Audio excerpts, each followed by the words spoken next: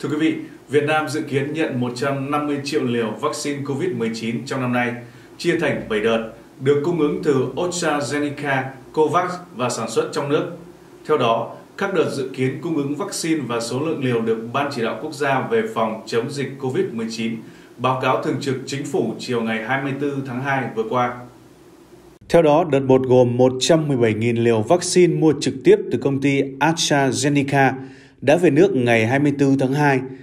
Lượng vaccine này sẽ tiêm cho lực lượng tuyến đầu chống dịch, trong đó các cơ sở y tế gồm bác sĩ điều trị, nhân viên xét nghiệm, nhân viên lấy mẫu, người tham gia phòng chống dịch như thành viên ban chỉ đạo phòng chống dịch COVID-19, các cấp và người làm việc tại các khu cách ly, truy vết, điều trị dịch tễ, tình nguyện viên, phóng viên.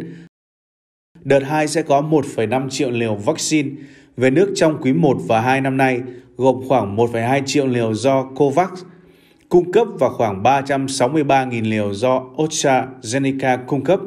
Lực lượng tuyến đầu tiếp tục được tiêm vaccine cùng với nhân viên ngoại giao, hải quan, cán bộ làm công tác xuất nhập khẩu, quân đội.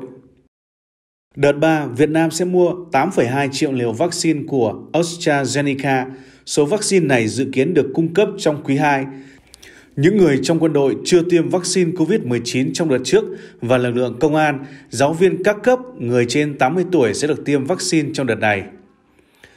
10,9 triệu liều tiếp tục dự kiến về trong quý 3, gồm 3,6 triệu liều là COVAX và 7,32 triệu liều từ AstraZeneca. Đợt này, đối tượng tiêm gồm những người trên 80 tuổi chưa tiêm vaccine trong đợt 3, nhóm người làm nghề cung ứng dịch vụ thiết yếu và người có bệnh tim mãn tính.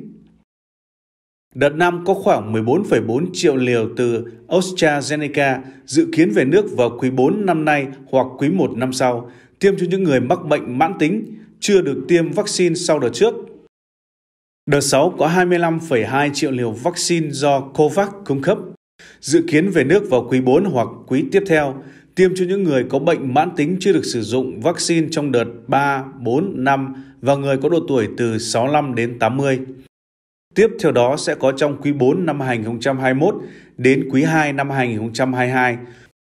Lượng vaccine này được tiêm cho công dân từ 65 đến 80 tuổi, chưa tiêm vaccine trong đợt 6 và người trên 18 tuổi không thuộc nhóm đã nêu ở trên.